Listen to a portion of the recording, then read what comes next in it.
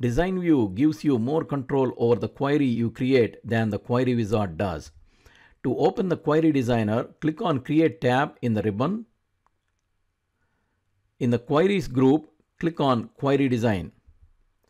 You will see two windows. The underlying window is the Query Designer.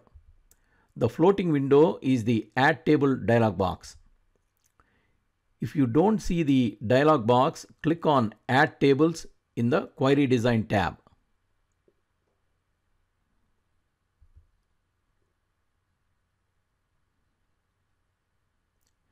You can also right click anywhere in the Query Designer window and select Show Table from the menu.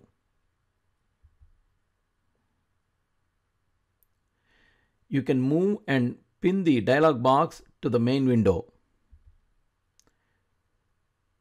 The Add Table dialog box displays the tables and queries in the database.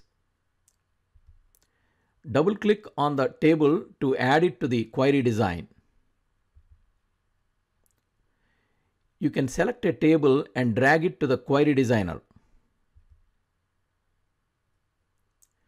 To add multiple tables, select the tables and click on Add Selected Tables button.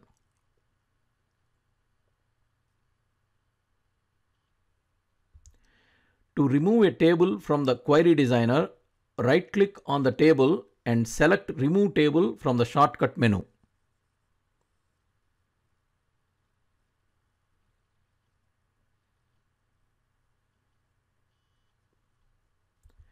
The query designer consists of two sections, the top table query pane. This is where tables or queries and their respective field lists are added to the query's design. You will see a separate field list for each object. Each field list contains the names of all the fields in the respective table or query. You may want to resize a field list so that all of the table's fields are visible. You can resize a field list by clicking on its borders and adjusting the height and width by dragging.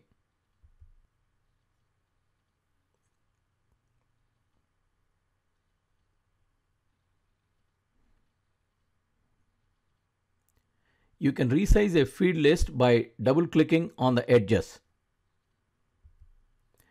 You can move the field list around the query designer by grabbing the title bar of a field list window where the name of the table is with the mouse and dragging the field list.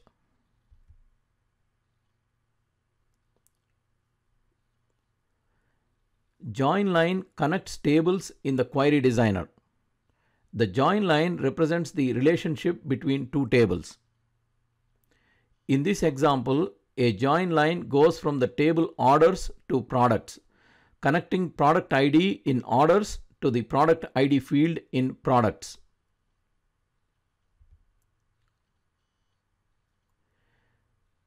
The bottom part is the query by design. The design grid holds the field names involved in the query and any criteria used to select records. Each column in the design grid contains information about a single field from a table or query contained within the upper pane. The two window panes are separated horizontally by a pane resizing scroll bar. Click and drag the bar up or down to change the relative sizes of the upper and lower panes. To add a field to the query, double click on the field name in the table in the top pane of the query designer.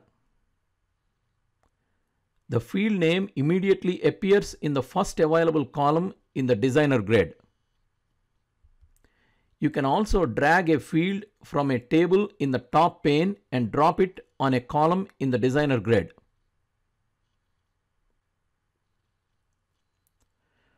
Dropping a field between two fields in the designer grid pushes other fields to the right.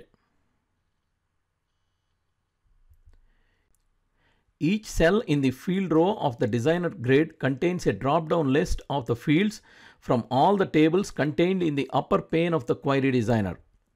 The field is prefixed by the table name.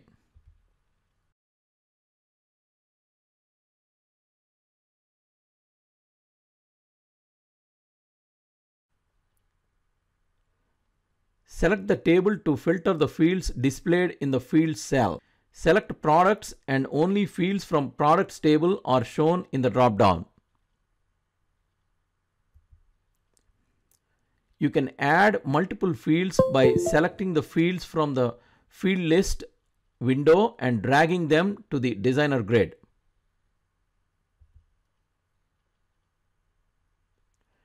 The fields are added to the designer grid in the order in which they occur in the table.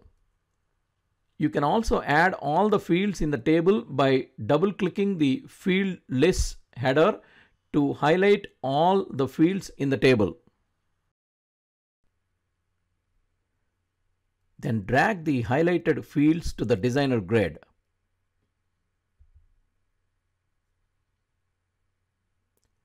Alternatively, you can double click or click and drag the asterisk from the field list to the designer grid.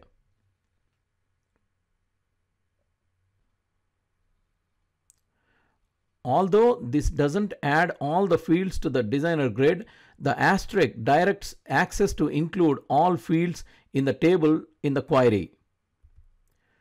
The downside of using the asterisk is that the query returns all the fields in a table regardless of whether every field is used on a form or report. You also have no control over the order in which the fields appear in the datasheet.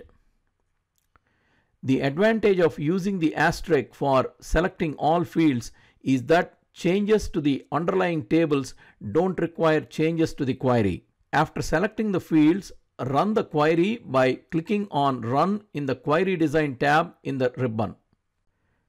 To go back to the Design view, in the Home tab, click on View and select Design View.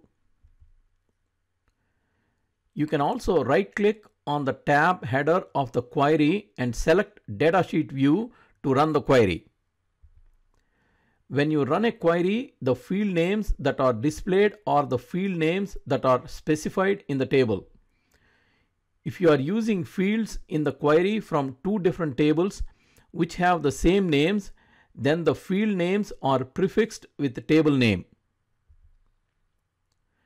You can change the field names that are displayed by the query in the query designer.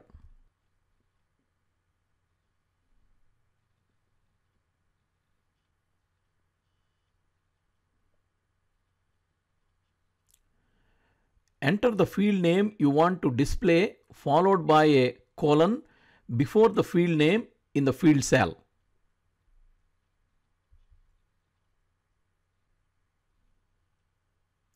For example, product ID is changed to product.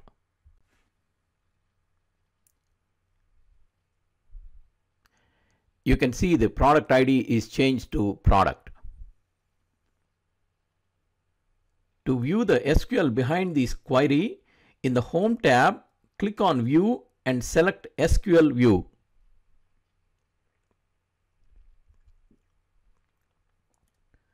The display name given to the field is part of the SQL.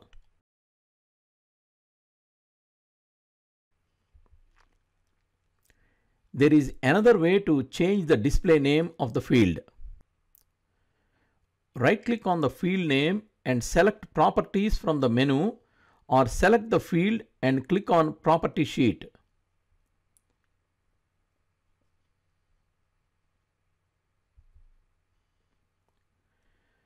Enter the field name you want to display in the caption row.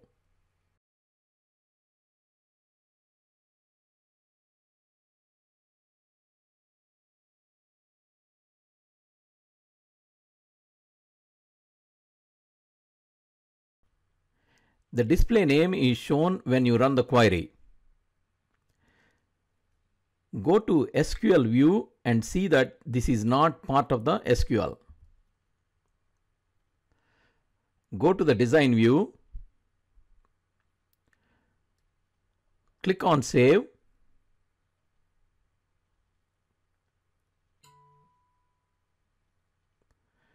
enter the name for the query